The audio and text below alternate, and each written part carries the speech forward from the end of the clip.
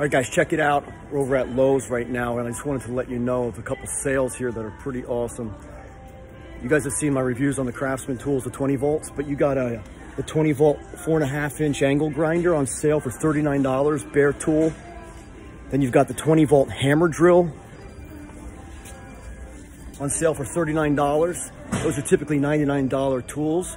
39 bucks for tool only. That's pretty awesome because I know a lot of you guys already have the battery platform. So I just wanted to give you a quick heads up. Head over to Lowe's, see if they have any in stock. All right, have a great day.